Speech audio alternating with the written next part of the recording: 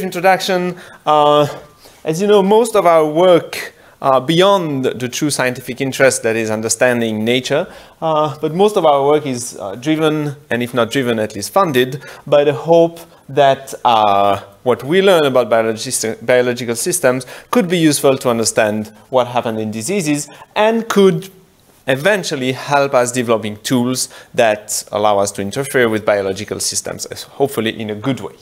Um, and among these tools, small molecules have been highly dominating the, the market uh, in recent years. And uh, although there's quite nice, um, so this doesn't work, but uh, maybe I should turn it on. Okay. Uh, despite quite a nice increase, for instance, in monoclonal antibodies, still uh, small molecules have been um, the, the main players. And uh, they are very important in many fields, especially in the field of cancer, where, for instance, the kinase, uh, the kinome has been uh, heavily studied in terms of finding small molecules. That's okay, that's okay. Um, small molecules that, that target these, these proteins. And the way it works is often uh, people identify a primary target that they're interested. They think, well, if we inhibit this, it may be useful. And they develop uh, different small molecules that bind to these targets. And this is the typical information that we have in databases. Now, despite all the work, uh, this uh, medical chemistry work, there's still a substantial fraction of molecules for which we know that they have some bioactivity, but we have no idea about the targets. So these numbers come from the Campbell database, and, and many of these molecules uh, have been tested, for instance, in phenotypic assays, where you test not for target, but you just screen over screen a population of cell, it could be in yeast, it could be in cell lines, or, or whatever, and you find that there is some effect. Uh, another important feature of small molecules is that Typically, they do not bind only one target. And even for, for FDA-approved drugs, it's estimated that on average, there's actually at least six different targets that are bound by these molecules. And uh, of course, these, these uh, secondary targets are also very important. Uh, they may explain side effect, they may explain some toxicity, uh, and they're also very interesting because they could allow potentially, if you have a molecule that is known and maybe doesn't have too much toxicity, you could reuse it for another purpose because it also binds another protein that's involved in another pathway. Uh, but overall, it's not so easy to detect all targets for, for small molecules experimentally because you need to screen many different proteins. And therefore, there's a, a need for, for uh, computational approach that help you predicting the, the targets of these molecules. And uh, there's been different approaches that have been developed. Historically, many people spend time uh, using protein structure in order to, to see whether a small molecule could fit in the binding pocket using docking or pocket comparison or, or this kind of algorithms. And uh, well, this is very powerful in, in some cases because then you get an atomistic description of the interaction. And you can think, well, maybe I'll be able to improve, to optimized by ligands by knowing how it could optimally fill this, this target. So it's, it's a very powerful approach. Um, it has also some limitations, sorry, um, that some are listed here is that, of course, you, you need to have some crystal structure, which is not always the case. Uh, sometimes the, the, calculations can be not so easy if you think about all the complexity that can take in place in a structure, all the, the flexibility that is, that is present in those structures. It's, it's not uh, a solved problem, at least. Uh, and it's fairly long to, to compute, uh, to do these computations. So another approach that we were very much interested in, I should mention that I'm not the first one to work on this, uh, is to, to use a ligand-based approach, which relies on the principle that similar molecule will likely have similar targets, especially if they have some bioactivity. So we know they, they do something in an organism, and we, if we find another molecule that's very similar to this one, it's likely that it has the same target. So basically, if you are given a molecule, you will compare it to a bunch of other molecules for which you know the targets, you find one that is fairly similar, and by similarity, you map the targets. Uh, so this approach has become, has become quite popular recently, and one reason is that there's been a very strong increase in the number of ligand protein pairs that are uh, annotated in databases. So typically over the years, this is the increase in the Campbell database of, of the number of, of small molecules in this database. So it's a linear scale. It's, we're not in the world of sequencing, for those of you who are used to this big increase. Uh, but it is still, it is still uh, quite, quite promising to see that this, this curve is, is really going up and there's no sign of, of, of, of slowing down, uh, which means that we have access to more and more data about ligand uh, binding to, to proteins. And that's, I mean, definitely you should use this kind of information when you work. Um, Another important aspect of the, the, the, method I've shown you is how you define similarity between small molecules. Uh, and, a, and, a, first approach is, is to use the chemical similarity. People use it, sometimes call it the 2D or the fingerprint base. So it's based on the idea that you should, but for comparing two molecules, you can actually find fragments different fragments in these molecules, and if you find them in both, uh, it will be a sign that the molecules are similar. So basically it would work like this, you identify linear fragments, and you build a, fingerprint vector, and you do the same thing for another molecule, and then you compare the fingerprint vector with the, the molecular similarity that's uh, widely used to the Tanimoto coefficient, which is nothing else than the Jacquard index. Uh, this, this has been already used for, for target prediction in, in methods like C, Target Hunter, HitPeak, or, or other methods. Um, another idea that we, we were interested in is to compare the shape of molecule. And this, this really relies on the idea that if two molecules bind the same protein, it's likely that they can fit in the same pocket, and therefore having a similar shape is also an, inter, an interesting information. So basically what you do is you take the molecules, you overlay them and you look if, if they are similar. And you can add information also about the electrostatic distribution, the hydrophobicity as, as additional feature that we did. Uh, if you're interested, I can, I can talk more about this, but I don't want to enter into these details here. Uh, so just a few examples. Here is, for instance, a ligand of CDK1, where there was one known ligand that is fairly similar in terms of shape and electrostatic distribution, you can see with these uh, oxygen atoms, but there was no real similarity in terms of fingerprints. Uh, the reverse example, uh, where actually the fingerprint similarity is much better, is ligands, for instance, of these proteins, where there is clear similarity between them, while if you, if you use a shape similarity, you couldn't fit so well the, the, the these, these query molecules into the known ligands. And in this case, it suggests that the fingerprint works better. So of course, this suggests maybe we could actually combine both of them and you can do it very easily by, by computing these different similarity, predicting the targets based on each similarity and then combining them. So the first question we ask is, well, how do these different approach work? Is it better to use the fingerprint? Is it better to use the shape? Is it better to combine both of them? And for this, we, we did a cross-validation using the Campbell dataset. So we, we selected positives as, as uh, ligands that have less than 10 micromolar, which gives rise to quite a bunch of molecules, uh, 260 uh, 90, 696 targets and quite a few interactions. And then for the negative data, we took everything that was available in Campbell, but we had to complement it with lots of random data, and we'll come back to this. So if you do the, the the, the, the cross-validation and you plot this AUC, what you observe is that first the shape that is black uh, performs less well than the, the fingerprints. And then the combining basically gives you a very, very slight increase here, but not much of a difference, suggesting that actually most of the information is already encoded in the fingerprints. However, if you look at the scale, you will notice that these are extremely high values. So I forgot to mention that I'm plotting the AUC value for different sizes of ligands. So this is not a, a ROC curve. So this is just average AUC value for ligands of this size, this size, this size, and so on. Um, but I mentioned you get extremely high values, which always a bit suspicious when you get these very high values. And I think that's, that's an important point also to remember that uh, AUC values are highly dependent on the kind of benchmark that you use. And very high values can be obtained in some cases, especially if you have a very, very large, of negative, large space of negative data. Uh, so typically, if you imagine that your space of positive is here, and the negative space is all around, so you have some uh, sampling of the positive states that are true positive, say, and then you have some sampling of the negative space. Now, in this case, you can actually fit many models that fairly well explain your data in terms of separating the positives from the negatives, but still are not fully accurate because clearly they don't encapsulate these kind of regions here and there.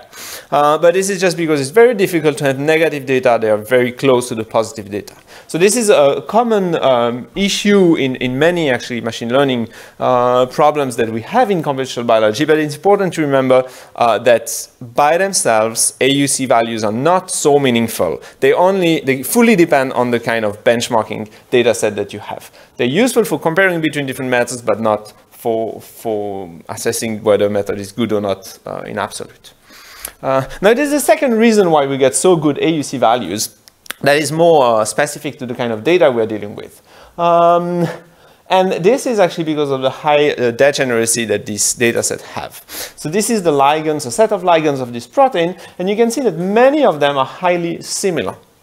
And this is because often medicinal chemists, once they have a lead compound, they will check many replacement at different side chains by changing, for instance, uh, adding some atoms here and there, uh, which are not big changes, and therefore the data are highly redundant. So we thought we should also eliminate these kind of things uh, in the cross-validation, and one way is to group ligands by scaffold, and then when testing this protein, for instance, not, not allowing comparison with the same scaffolds, uh, we went even one step further by using information about the history when these molecules were developed uh, and preventing comparison between molecules that have been tested in the same assay because likely there was biases by the way the assay was designed.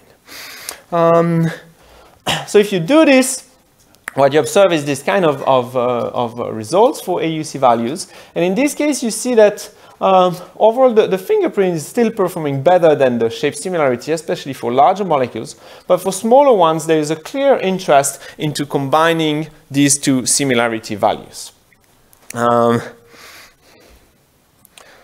so we get more realistic estimation of the performance, and, and it clearly shows that this region, the, the combination of two types of completely orthogonal information, or at least partly orthogonal information, uh, is quite useful. What is important to realize is that also this region corresponds exactly to the kind of uh, size that molecules have, uh, especially FDA, FDA, approved molecules have. So in this region, it, it's quite interesting to combine both of them. And it's, it's an interesting aspect that actually uh, using shape similarity, which was not so obvious from previous studies, is, is quite useful in this case. So then we ask a second question. So far I've been showing you uh, cross-validation only based on um, small molecules that bind human target. However, we have targets in many other species because people test more interesting molecule in mice or in rats. People do chemical screening in yeast. People do chemical screening in, in, in worm. And this is increasingly uh, becoming popular. There were some talks yesterday about this also, even using different kind of similarity, like genetic interaction similarity. There was a nice talk by Chad Myers yesterday. Um, so we thought, let's ask a, very basic question. Uh, how can we actually map this interaction across different organisms so that we can learn something from mouse that could guide uh, prediction in human. So in other words, if you have a small molecule, you want to test it in human, you don't, maybe you don't have similar molecules, but there's one molecule that is fairly similar, that is known to bind a mouse target, can we map them, the, the target in human? Uh, so we did this for these four organisms. We couldn't go much beyond vertebrates because unfortunately in the Campbell database and as well as other database, there's much, much less data. So these are, these are still the organisms that are most widely used and could be used for cross-validation. Uh, for our homology relationship, we use the Ensembl tree from an OrthoDB. Uh, and for validation, as, as time had passed, uh, we were lucky because there was new version of the Campbell database. So we basically used all molecules in this new version that were not in the version that was used to build our method. Uh, so this left us with a bunch of interactions. Uh, and before going to the validation, it's also important to point that by using homology, especially orthology, you increase a lot the space of the possible targets, which is quite interesting in a sense because uh, it allows you to make predictions for molecules, for targets that have never been assayed in, in any experimental uh, setup. So if you do the, the validation, we compare here the, the, the, prediction using no homology information and using only orthology, so only cross-species information. What we observe is that while in human it wasn't much of a chance, change, but in rat, mouse, and cow, there was a nice improvement in the predictions. We also asked the question, well, what if you, we use paralogy, so then mapping uh, within the same organism among paralogs? And here we actually see this is in orange, uh, that the, the, including paralogy information is actually not good, does not improve, and even worsen sometimes the predictions. Um, we also tested a special case, which is if not a similar molecule is fine in another organisms, but actually exactly the same molecule. So basically it's this case like this where you have a molecule, you want to, to ask whether it binds something in human, and you find that this exact molecule, so not a similar molecule, has been tested in mouse, and then you want to map back the predictions. So if you look in this case, which is um, the ideal case for orthology-based uh, prediction interaction mapping, uh, in all four organisms, there was a clear improvement in accuracy uh, by using the, the orthology-based method, which, which, is quite nice because it wasn't observed often, although people have used this in single studies, there was no real statistics about this. So overall, what we found is that orthology improves the prediction, but including paralogy relationship does not. And while you can speculate about which are the different reasons. Uh, two reasons that I could come up for is one that in general we, based on evolutionary studies, we observe that there is less conservation of function among paralogs compared to orthologs. Yeah. Uh, so this could explain also why we see less conservation of small molecule ligand interactions. Uh, and uh, one, one, other possibility would be that actually sometimes people design a molecule to target specifically one member of a paralog family, and therefore by mapping it to all four or three other members of the paralogs, uh, you get false positives that, that, uh, that are not correct. Um, so these are the two, two things, but I don't have data to support these claims actually, so should do some more work about this. Um, so if you're interested in this prediction, I'm still advertising our website where you can test them and you can do this prediction in different organisms. Uh, so basically, we, we found that shape, uh, well, if, if you have to make prediction, some cases it's useful to combine the, the 2D and the shape similarity. Uh, we found also important biases in this data set, and we came up with some attempt to help addressing these biases and, and removing their effects. And we also observed that orthology-based predictions are useful, but paralogy does not add much. Um, of course, a future perspective that would be really interesting would be to combine this with a more structural view of docking these ligands to see whether it helps or not, maybe not. so before concluding, I'll just want to say a small advertisement. Um, small molecules have been very interesting uh, in, in, the field of cancer, which is of a high interest for my lab, uh, as a way of targeting directly cancer cells. But over the years, it's been realized that actually other approaches are equally powerful that target cells that, like normal cells, especially immune cells, that uh, surround the tumors and play important roles. So this is also a very strong interest in my lab.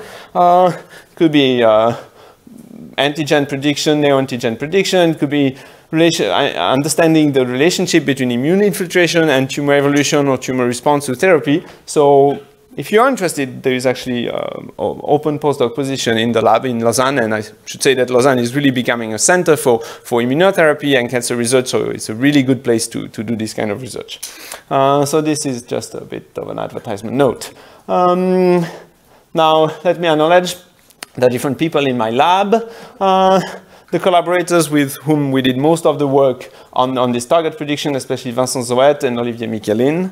The, the Vital IT for the computing, I, am happy I put this. I didn't know Ioannis was the chair of this, but uh, this is the high performance cluster in Lausanne that is actually uh, uh, managed by the group of Ioannis. So, and a funding agency and all of you for your attention.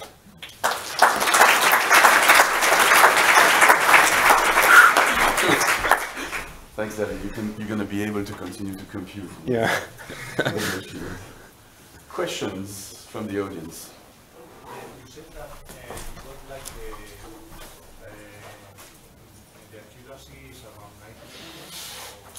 So this is the AUC value.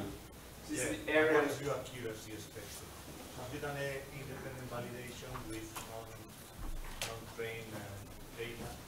Like um, so, for instance, what we did in the second part of the homology uh, interaction, this is really new data that came later in the in uh, this. Uh, we didn't put you know a, a, given threshold because if you want to compute accuracy, like percentage of accuracy, we didn't put the threshold. But we have this plot that I can show you. So this is another way of doing the validation where we compute among the, for each molecule, among the top 15 predictions, whether one target is correct. Which is more realistic to what you can test experimentally. Say you, you have the mean to test 15 different targets on, your small molecules, you want at least hope to get one. And uh, this is a fraction of small molecules for which at least one of the top 15 predicted target was correct. Uh, so we are around, uh, this is general for any, any molecules, uh, and we are around like 60, 70% in this data. And, and again, you see that by um, taking into account homology, for instance, in this case, there was a clear improvement uh, of the predictions.